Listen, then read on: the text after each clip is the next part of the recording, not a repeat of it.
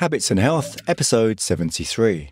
Welcome to the Habits and Health Podcast, where we believe creating healthy habits should be easy. Brought to you by an educator and coach for anyone who wants to create a healthier life. Here's your host, Tony Winyard. Welcome to another edition of Habits and Health, the podcast where we give you ideas on ways you can change your behavior to improve your health. And my guest today, Dr. Rachel Beanland. She's a public health doctor, a coach, a yoga and meditation teacher, which is quite an unusual combination. She supports women in medicine who are committed to personal development and looking to create mindful and sustainable change and using evidence based tools. And she guides them to find balance when building their career to live a life that they're really wanting to live. So that's this week's episode with Rachel Beanland. Hope you enjoyed this episode. And as usual, if you know anyone who would really enjoy some of the information that Rachel shares, please do share the episode with them. Habits and Health, my guest today, Rachel Beanland. How are you, Rachel? I'm good, thank you. Thank you so much for inviting me. It's great to have you here. And you're in, I was going to say, an ex- exotic part of the world. Do you consider it exotic? Wow. Um, I'm in the French Pyrenees, up in the mountains.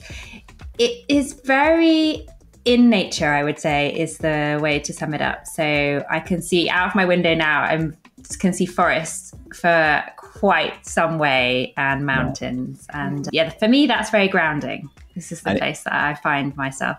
Was that a deliberate intention to move there? Yeah, yeah. So we moved to France eight years ago, mainly because we were spending more and more time here and we were really drawn to the mountains. So even in the UK, actually, which is where I'm from, I spent a lot of time in North Wales, going up to the lakes, up in Scotland, and yeah, for me, the mountains really allow me to feel grounded and centered. Right. So even in France, I've been drawn to spaces in the mountains. And then here, we're in the Ariège, which is like a very rural part of France. And our intention here is to be able to live very closely with the land. So what right. we have is a sort of small kind of eco farm. We're trying to oh. produce most of our own veggies and fruit and living in a bit of a what some people would say alternative. I feel like it's probably the way that, that the majority of people need to start thinking about living, being more respectful of the environment and thinking about what we're doing every day and being more conscious, really. Well, I think there's some things we can explore there later in the episode. That sounds very good. A question for you Who are you? Wow, that's a big question. Who am I? okay, so I suppose I would say that I am someone who is trying to live this life that I've been given in the best way that I can to be able to make potentially an impact in the world that I live in, but at the same time, be very aware of my space. And I think that's why I'm attracted to the mountains, because in a way, the mountains remind you of how small you are. Mm-hmm. And I think that, yeah, as a person, I really try to think about what I am compared to the people around me, the right. beings around me, nature, everything. So that's who I am at the core. A very traditional answer of that would be what I do, but I like to try and separate myself from what I do and what I am as a being, I think. Well, and it's fascinating to hear how people interpret the question. And how different would you say you are now from, say, 10 years ago, 20 years ago? Wow, okay, very different, I think. Although I think some of the things that I find myself enjoying now, that real joy. I suppose we talk about flow a lot, don't we? That sort of thing where you find yourself into that flow. Mm. Those are probably the things I did really enjoy in my sort of early childhood, later childhood. But it's quite funny because 20 years ago, I graduated from university. So I'd qualified as a doctor, and that was when I'd finished. Mm. I think my vision of the world was quite different. My vision of what I could do as an individual was probably very different because I'd been trained to think in a certain way. And at the same time, I think for maybe the first 10 years of my career, I really struggled to try and feel like I could be myself in my role. And I think a lot of us really struggle with that, don't we? It's something that does take time to really feel like you can be authentic and, mm. to find those environments where you feel like you can truly be yourself. So yeah, very interestingly, probably quite different, I think, from yeah, 20 years ago. But in a way, if you weren't quite different, then that wouldn't be good, I don't think. No. And I think that is the joy of life, isn't it? For me, life is about adventure and exploration. I've lived in different countries. I love meeting different people. I think that's the joy of online life, really, isn't it? In the world we're in now, you can connect to people all over the world. You and I are having this conversation through an online platform. And I think without that sense of exploration and being inquisitive as to what if, what's that about, I think life could feel quite, I don't think dull's the right word, but I just feel like that is part of life learning, learning and trying. And sometimes things don't work and you have to reassess and try again. But yeah, I think if I was if I hadn't changed over 20 years, I'd probably be, want to know why. When you first decided I'm going to move to wherever, uh, did you find it an easy decision or was that quite difficult? Yeah, I think I'm someone who makes decisions quite solidly. So sometimes it appears quite quick, I think, to other people, but they're always thoughts that have been in my mind. And the idea of living in a different environment for me, whether that's a different country or even a different city, mm. yes, there's an element of unknown, isn't there? There's an element of like uncertainty. Mm. But I tr- think in all of those moments, I've always tried to turn that on its head and just let the excitement of it take over mm. the unknown. And yeah, I think I even now when I make decisions about moving in places, it's very much like that. Right? And I think some of confidence with my decision making comes from a sense of being confident about how I can be in a place. So I've always thought of home really as more not where you are, but how you are. So for me, that involves my husband, the two of us being together and creating that sense of home. The actual space obviously is a choice, but it doesn't create that sense of home for me. And where were you before France? So I came from the UK before France, but very early on in my career, I spent some time in Honduras, so mm. in Central America. And then I also, a little bit later on, spent some time in South Africa. So I was always excited by these opportunities and just saw them as ways to see what was going on in the world and understand diversity of people, diversity of illness, diversity of life, really. And I think, I don't know where that necessarily came from, but it was something that I always found very interesting. Mm. You know, trying to understand things, I suppose, from other people's perspectives. And I think that's really enriching, isn't it? Particularly in the world we live in now, where we're so divided, it can sometimes be very difficult to think about other people. And we often end up in our little tunnels of influence, don't we? But I think the more you can see different things, the more it opens your eyes to be mm. considerate and open to other human beings. You mentioned that you graduated as a doctor. I know that now you do much more than just, I wouldn't say simply a doctor because that's amazing as it is, but tell us about all the other things that you do apart from being a doctor. Yeah, so I suppose my career as a doctor, I got super excited about global health and like the mm. health of other populations. I really wanted to try and use my skills to uh, help people everywhere, really, not just in the UK. And so I trained in public health in the UK after I'd worked in hospitals for a period of time.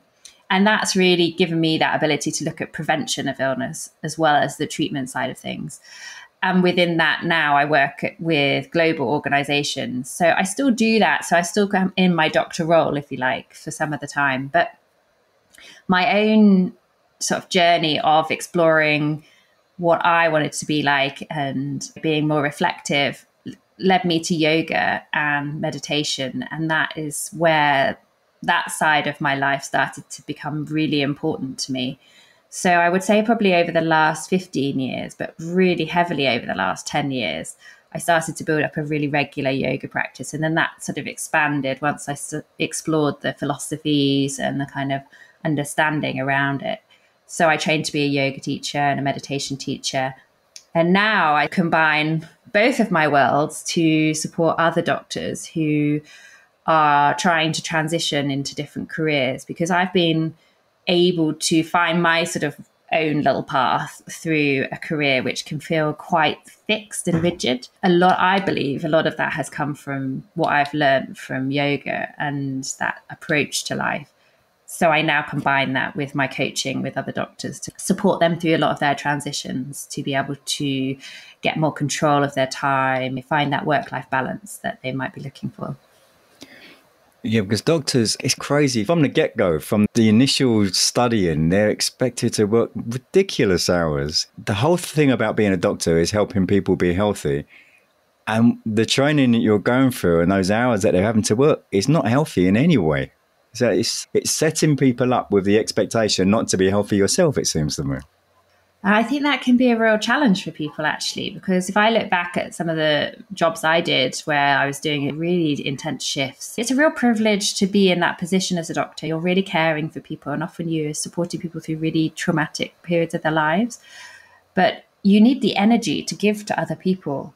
So if you don't have that internal energy yourself coming mm. from a healthy place, eventually mm. it can be very draining. And I did find that for myself. I found that it was I would often give, and I wouldn't be really be looking after my own health, be it my physical health or my mental health. And I think a lot of people can fall into that trap where they are, and I suppose that's also a lot of other caring professions. People give a lot and don't have the energy to really sit down and reflect on what what is the priority. But I, I do believe that we all can improve our own health by doing very simple things Mm. And by doing that, we have so much more to be able to share with people. And for doctors, that means that you can then be a role model for your patients, for your community, for society in general. Mm. So I do think there's a sort of two aspects to it. There's one, there's that sort of as an individual being the healthiest you can, but then actually, the more we can do that as doctors, the better we can be for our patients, really. Talking about studying to be a doctor, if you were given the powers, some fairy godmother, whatever, gave you these powers, that you could change the way that people study to be a doctor in the UK, what changes would you make? That's a wonderful question. I think I would really try to readdress the balance between looking at illness and looking at health and maintaining health. Because when I studied, the amount of time we spent on thinking about prevention and thinking about maintaining well-being was so small. Mm. It was like maybe a sort of eight week course with one fold. Sorry, I went to university before laptops. I just realized a lot of people listening thinking, "Oh, she's talking about a folder, like a ring binder." And I, I guess now we live in a world where there is so much available to us. There's so much information out there that there is a lot of things that we do in our lives that can be detrimental to our health. Mm. And there's also so much information and evidence to show us what to do and what not to do. Mm. So we have all of this at our fingertips. But I think that we all need that support to be healthier, to be in that state of wellness. So I think that's what I would bring in if I could really and I think it is better these days. There's a lot more movement towards lifestyle medicine and thinking about your different aspects like sleep and stress and movement and how that affects you. But I think really getting doctors to think about prevention of illness and not just the treatment aspect of it. Obviously, we need drugs, we need research into good drugs, and the treatment is essential and surgeries, etc. Mm. But without the other part of it, we are not going to be able to increase the overall health of the population in any country. So, the way you work now, you mentioned that you're training other doctors. Have you got just general patients as well? What, how, how is it you work at the moment?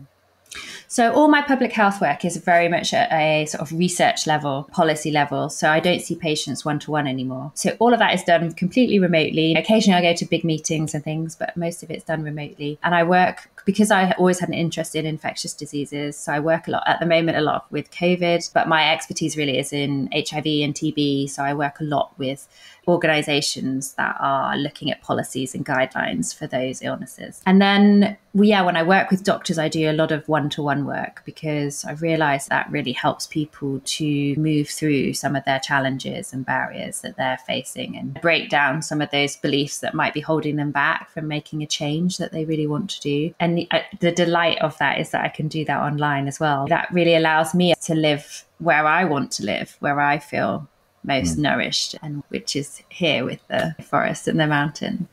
So, when was it that you got into the yoga, the meditation, the breath work? I'd always been really interested, but I felt very intimidated by it actually. So, even at university, I can remember doing a few classes here and there. When I was doing lots of work in hospitals, I would sometimes see classes, but I'd always be super busy. So sometimes I'd book a class and then I'd cancel it or I wouldn't go because I was really not very good at prioritizing my own well being at that point. Mm. And then when I had, took a shift out of that setting and I did a research post, so I had a bit more of a kind of nine to five job for a period of time. I was able to then start doing some of these things. So I started to go to a class regularly and I think that was about 15 years ago that started for me. And it just, yeah, it's just started very gently, really. And for a long time, it was much more of a physical practice. So I would just go to classes or do videos at home. And then my meditation practice was part of my yoga. But my meditation, then I would say probably over the last five years, has really developed into a tool which for me now is probably even more important than my movement practice. And did the breath work come around the same time as that, or was that later? Yeah, I would say the breath work came at a similar time to the meditation in its depth. But interestingly, I'd been exposed to breath work during some of my work, actually. I was based in Leeds for a period of time, and we were involved in this small study where we were looking at nurses' health in the hospital there. And as part of it, someone came in and they were teaching some mindfulness techniques. And they taught a really simple breathwork technique, which is the square breath, where you hold your mm. breath and then breathe out and then hold again and breathe in. And I just adopted it without really thinking too much about it. And it was something that I'd often just go back to if I got really stressed, just think about this breath and just try it. So I was doing it without really linking it to breath work. And but I think over the probably yeah, over the last five years, that's become I suppose I've learned more about it. I've learned more in when I did my yoga teacher training. I was very fortunate to be sharing that with teachers and being taught by really teachers who are very keen on parts of breathwork and incorporating that into yoga. So that that those aspects have really developed much more strongly for me in the last five years, I'd say.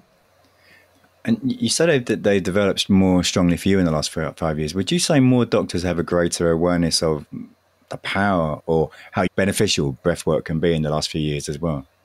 Yeah, I think so. And I think a lot of these holistic tools and approaches have probably become more I don't really like the word mainstream, but I guess there's an element of there's more talk about it, there's more conversations about it. I think the power of some of the social media platforms helps. YouTube is an amazing platform for all of these techniques, really, for trying different parts of it. So I do think in general, people are much more aware of these things.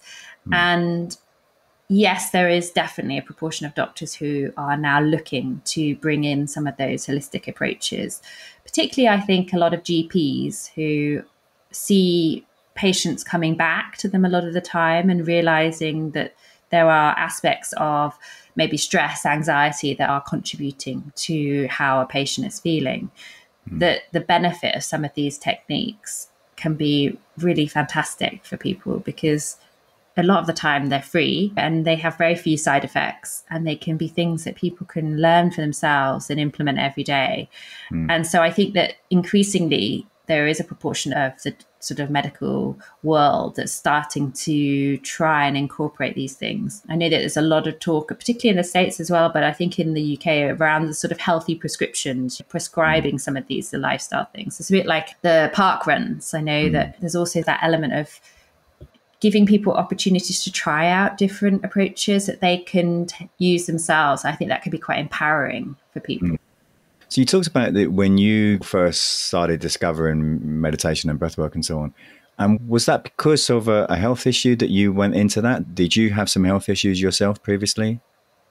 No, not really. I think for meditation, I didn't really have any health issues, but I think I always felt quite angry, which is a strange thing to say. But I used to, yeah, I was a very calm person externally, but internally, I always felt a little bit angry. And I angry with yourself or with the world? I think with the world, yeah, and sometimes with myself. And I think the meditation, I was starting to do my yoga teacher training, and one of the yoga teachers that was training me was really heavily into meditation.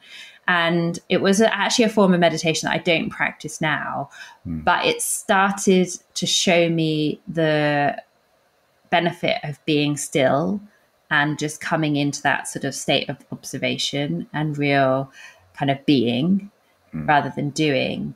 Mm. So that just suddenly opened something for me. And it was like someone had just pulled the curtains really to just give me this sense of space. Because I think I always used to run around a little bit hoping that someone would pr- press a pause button for me on life and that I could catch up.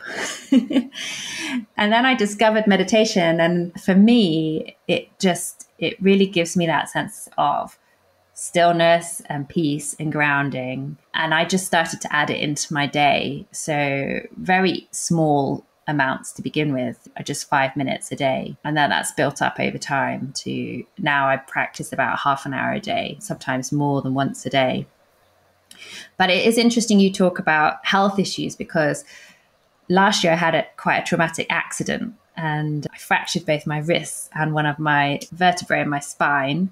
So it was really interesting for me to see immediately after I had done this accident, the first things that came into my mind were breathing and trying to get into that state of meditation to be able to come into and it was a state of acceptance really of what was going on but i also found it incredibly helpful for pain relief mm. and just in general for sort of overall healing and taking mm. that time to really get back to the level I wanted to be at. So it's been interesting to see because I always had this sense that, and I tell people this all the time, that the more you practice these things, the more they're there for you when you need them.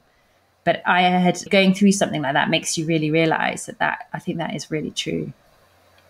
For people maybe who aren't into meditation, you mentioned just now about getting more into the being rather than the doing. And some people might really not understand that. So could you elaborate on that? Yeah. So the way I see meditation is really taking that time to be still, that stillness. Where our heads are always so full of thoughts, and most of us live either in the past where we're rethinking things that have happened, or we're starting to think about the future, making lists about what we must do in the, the afternoon or the day ahead. And I think what meditation allows us to do is to come back to that present moment, to be really in that present moment and to sit with whatever is going on. And that's what I feel that being is about, which isn't always comfortable. And I think that is something that sometimes people can find with meditation that their thoughts may still come and go, but it's about being accepting of that state and allowing things to come up. And for me, that is the real beauty of it because sometimes I meditate and it's I have millions of things that are coming in and I have to it sometimes feels really hard other times it's really easy but afterwards there's always a sense of clarity and the benefit continues for the rest of the day really so I would recommend anyone who's interested to to just try because there are so many different types of meditation that there is really something that I think that people can find that works for them. That might, that might look very different for different people. What tips would you give people who do want to start and they've struggled for whatever reason?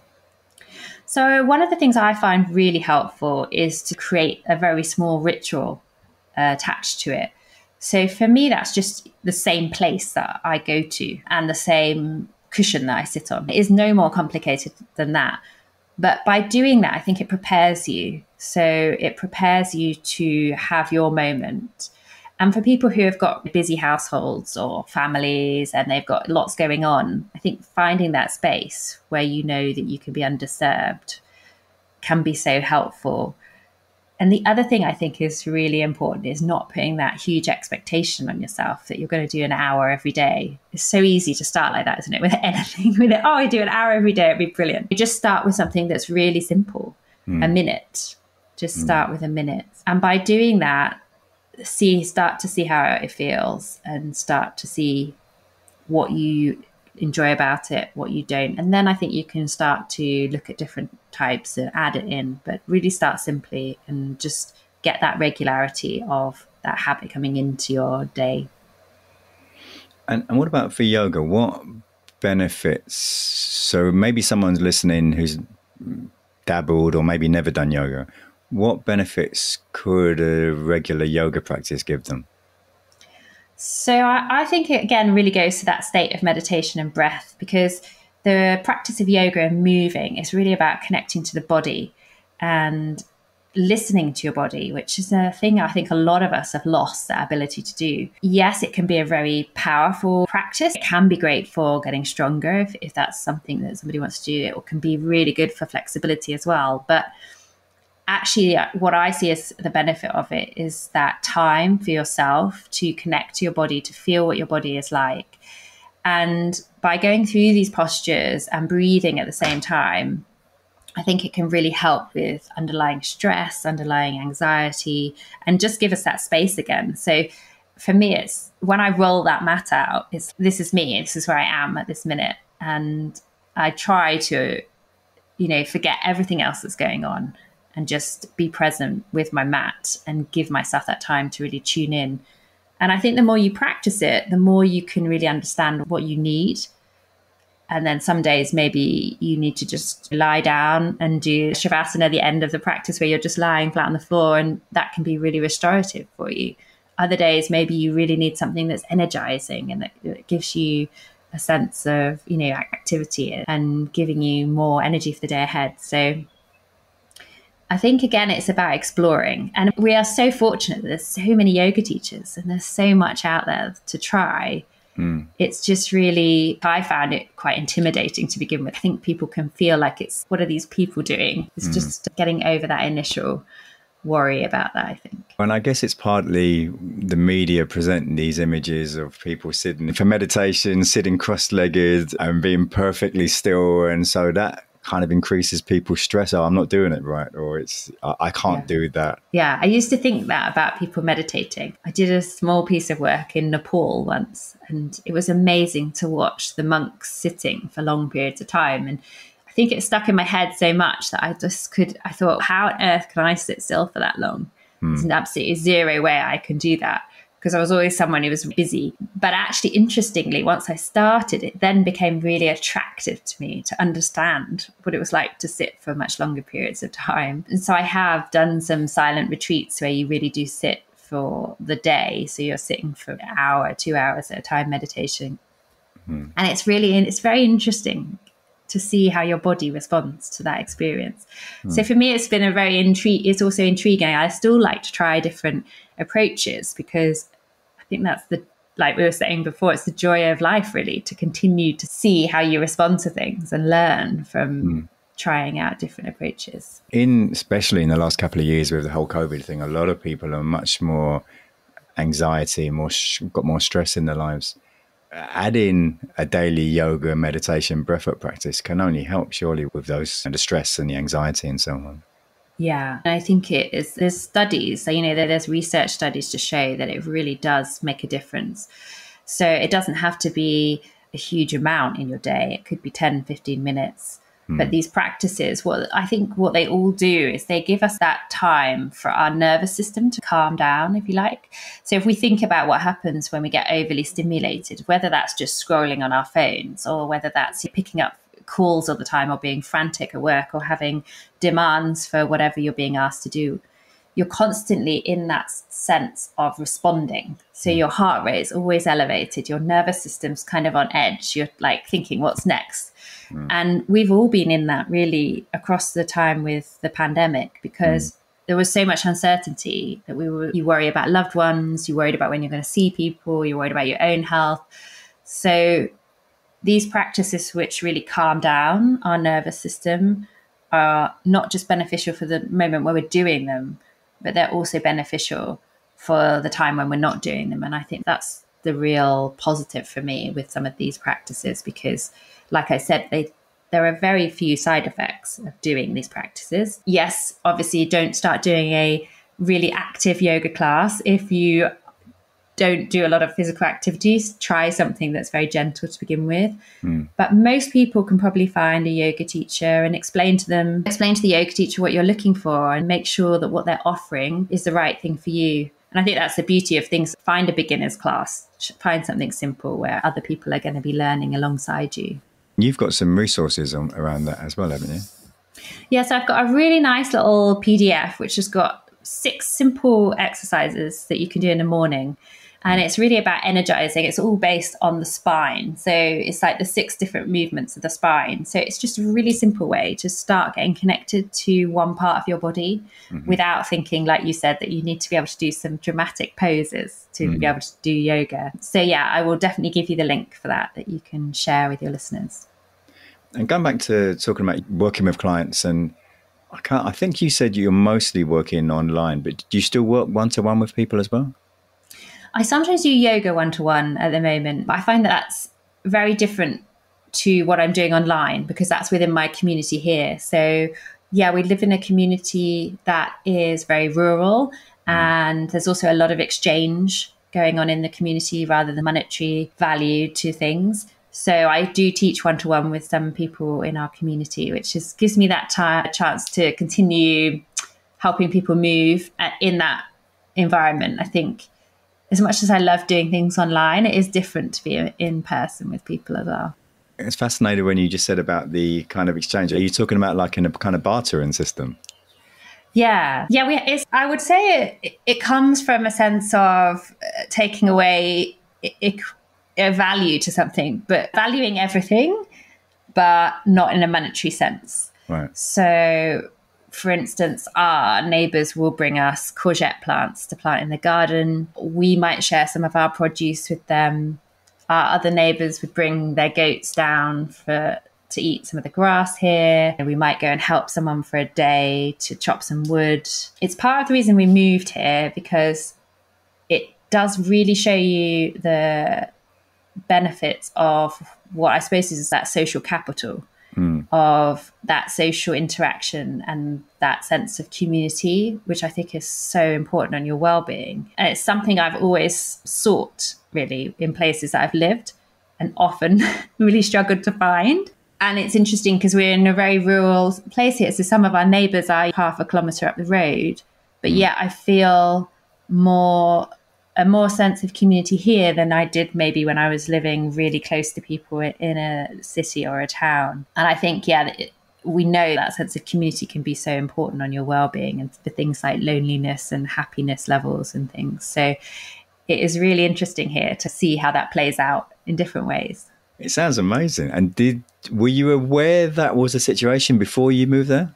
Wow. Yeah. Yeah, we were. So this area is very known for being it's very into sort of organic food organic ways of farming. And so i suppose yeah over the last it's also about 15 years but we myself and my husband just became more and more interested in what we were eating and how that was linked to the environment. And also we've become more and more aware of our our activities impact the environment. So it was really important for us to try and find a community where other people were also aware of those things mm. and also doing things that we feel are positive mm. to try and create a better community, a better a better planet, if you like, instead of living somewhere where that we felt very different and it was always harder to do those things that we wanted to do. Your work now, are you more coaching or more still practicing as, as a doctor? Where, where is the balance now? I would say the balance is about 50 50. So even my week probably looks like that. I do about 50% of it with coaching clients, and then 50% of it I will do on public health work. Mm-hmm. Sometimes that changes in the seasons if I get, depending on what's coming up. But it's a nice balance for me. I think mm. I was always, I've always been someone who likes quiet time and then likes interaction. So actually, I get the best of both worlds, really, having those two different aspects to my work. What do you get from doing the coaching? Why do you enjoy that? What aspect of it? I think some of that is that sort of one to one, which I guess is why I was really drawn to medicine. I really loved that interaction with a patient. Mm. So I suppose that part of it is that listening to someone and seeing someone and being able to help them to get through their challenges and see their way forward mm-hmm. is very fulfilling, I think. And knowing that I can do that for my peers is, I just feel is, you know, I've got this experience that I've been through. So to be able to share it with them feels mm. like a privilege, really. Mm. Because I do think in this world, there's very little that we invent, isn't there? Most of the time, it's just things that someone else has taught us that we're teaching. And I think that is part of, I suppose, our legacy in life, really, is that we keep teaching other people and sharing our experiences and mm. doing what we can to support other people's lives as well. And when you are coaching, how easy or difficult is it to help people change behavior? Yeah, I think it can be, it's really challenging. I think all of us know that behavior change can be challenging. I think it can be hard if also it comes along with beliefs that hold you back. And I find that with a lot of my clients is that because the biggest part that they want to change is often parts of their career to look at different jobs or to explore more holistic approaches, maybe in the way that they're looking after their patients. It's very scary for them to step outside of what they perceive as stable, what they perceive as normal, and what they perceive as what they should be doing, or looking at those expectations that they may be pl- placing on themselves or they perceive other people placing on them. So it's definitely can be a challenge, but I think it's about working to try and uncover what those beliefs are and why they're there, and to really also focus on where people want to get to. Because I think the more clarity you can have on your vision and what that feels like for you, then you've got a real motivator to make a change. And I think can be the bit that really helps people move from one place to another. And then the other thing, which I think is really key about all behavior change, making those steps and actioning it, but making it really small. So we're not trying to jump ahead into big change without really just breaking it down into much smaller chunks to be able to feel positive about what we're doing. Mm. And I and I also think like increasing the positivity rather than focusing on the negativity. I think that's something we often do with habits is it's very easy to think, oh, I don't want to do this and I, I wish I didn't do this, so I'm going to try not to do that. It's all very negative. Whereas if we can spin it to a positive of, I'd like to bring more joy into my life. I'd like to be more present for my family and my children. I want to nourish myself more. There's a real positivity there. And I think that can really help bringing those positive things into your life. Usually, by doing that, the negative things will step away. Mm. When you've been working with people, whether it be in a coaching capacity or as a doctor, and people find out more about your what sounds like an amazing location and the neighbors and everything. It, I wonder has anyone actually been tempted to move there because it sounds so good? I suppose the way we're living here is uh, for some people feels very different and interesting. So I think we get lots of people wanted to come for retreats or holidays to dip right. into it, which is wonderful because we also really believe that it's important that we share what we're trying to do. We don't have all the answers by any means. We're just mm. trying to try different approaches, to whether that's energy use or water or food or whatever it is here. No one's moved yet, but who knows? We'll see. see with our summer visitors. We've got friends coming in their camper vans from the UK. Who knows? They might not go back. I remember I've lived in quite a few countries, and one of the places I lived in, Indonesia, and there were so many people who came out there just to visit friends and just never went back. There were so many people come with their one backpack and stay for years. Yeah. Yeah. Yeah. yeah, yeah. Changing the subject, is there a, a book that's moved you for any reason you can think of? Yeah, so this book, which is called Will Your Way Back, is written by a guy called James Osborne. And I read this last year when I was recovering from my accident. And he tells his own story of a very freak accident, which is most accidents are. They're things that just happen to us. But it's very much about his recovery from a spinal injury. And he was a very physical person. He was very into sports. So it's his recovery. And I think what's inspiring to me and the reason that it moved me is I think it shows the sort of tenacity and the determination of him. And at the same time, there were so many moments in his recovery where things changed and he had to adapt and he had to find that sort of sense of inner resilience to keep moving forward. Mm. But at the same time, accept also what was difficult and challenging. Mm. And I think that's got a lot of lessons that it was really helpful for me to read in my own recovery, but I think it can be really inspiring for people when they're going through any challenges. It doesn't have to be a physical challenge necessarily, but I think some of those lessons can be really helpful to, mm. to give people the motivation to keep going. So, if people want to find out more about you or maybe work with you, where, where would they go to? So my brand is called Resilience Yoga. My website is www.resilienceyoga.fr because I'm in mm-hmm. France. Yeah. And I'm also on Facebook. So I'm Rachel Beanland on Facebook. So if people want to contact me, they can contact me through my website and it's easy to send me a little message there or they can DM me on Facebook and I'd re- be happy to chat with anyone who wants to find out more. We'll include the resources you mentioned before about the meditation and stuff. They'll be in, in the show notes So if anyone's looking for that, along obviously with a transcript and everything. So, just before we finish, is there a quotation that you particularly like?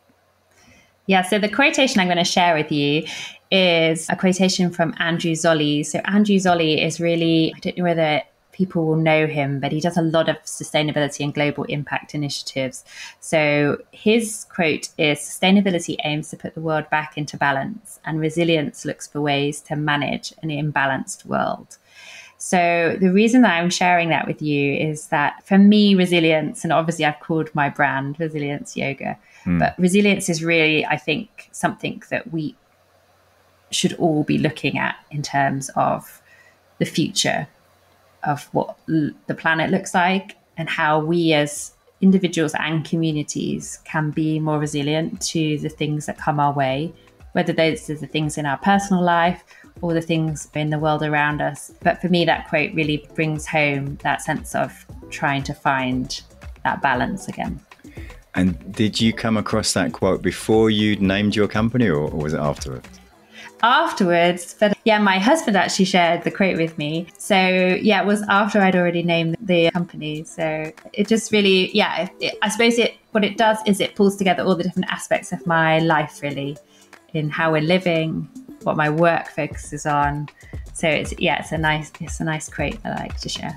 Yeah, it is a nice quote. Rachel, thank you thank you very much for your time and best of luck for the future. Thank you. Thank you so much for inviting me. It's been so nice to chat to you. Thank you.